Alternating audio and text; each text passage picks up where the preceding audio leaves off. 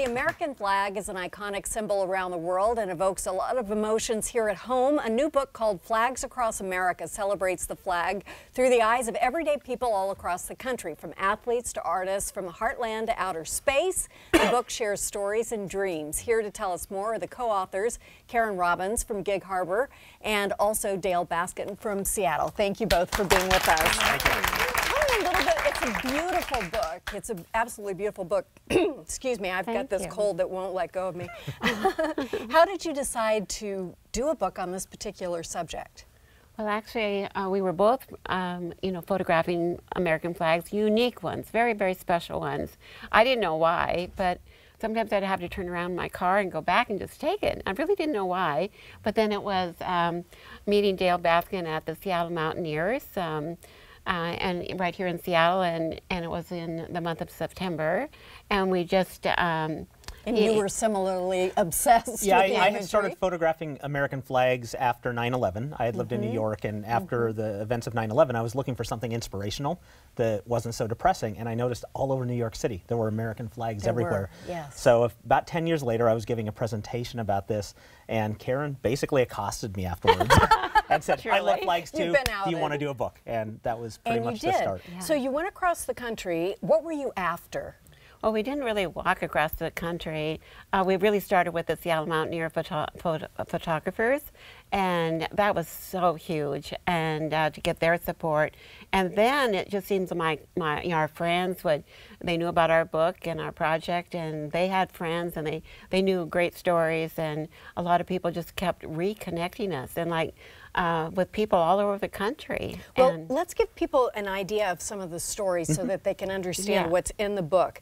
Um, these are some local ones. Evergreen Primary School. Can you tell us about oh, that? Oh, that's so special because uh, that's right in University Place. And okay. I had created this Hands Across America uh, flag back in 1991 uh, for a book, uh, Big Bulletin Boards, A Cooperative Approach. But we needed, we felt we was so special we wanted to recreate it again. So I have a friend, Jane Adams, who was a counselor, and we went to Evergreen Primary School in University Place, and we uh, worked for a whole week in this portable and had every um, child and staff member and faculty make one handprint um, on this large uh, sheet of canvas and that's how we created um, Hands Across America flag. Look at that, how big and it this is. is uh, Lieutenant Colonel Garner. Um, Garner Thomas. Garner yes. Thomas and his uh, granddaughter Jada, who are on the cover. And uh, we hadn't, you know, planned for that to be the cover, but it just seemed like out of all 354 photos that we have in the book, this is the best picture. Let's talk about Vashon Island American Hero Quilts. Yeah, th this is a group that I was really excited to photograph myself. It's a group on Vashon Island that a few years after 9-11, when veterans started coming back from Iraq and Afghanistan, uh, they wanted to do something to welcome the troops, to make mm -hmm. them feel like they were receiving a metaphorical hug from the American people. And um, this group on Vashon Island organized a quiltathon to create quilts to give to returning wounded warriors.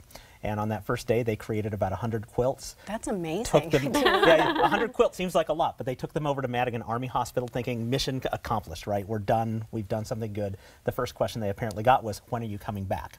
and so they leveraged the internet, started utilizing people all over the country, even people in different countries that wanted to support our troops. And to date, they've delivered over 40,000 American That's flag amazing, quilts. Mm-hmm. Because Every one of them individual. I mean, quilts are not just bang no. out. That takes some time. Everyone That's really is different. amazing. Yeah. All right, tell me about Pleasant Grove, Utah, and follow the flag. Oh, that's a beautiful story, but actually I'm going to let Dale tell okay. you about that. so uh, there's a group in Look Pleasant Grove. Picture. Yes, oh. this, this is an example of how big this flag is. Uh, basically, the entire town gets around this project to put a giant American flag across Grove Creek Canyon, which is nearby the town of Pleasant Grove. And the flag that they're using today is about 150 feet on one side. So this flag goes through a procession through the entire town. It's essentially a parade that everybody participates in. And then a couple troops of Boy Scouts take this flag up.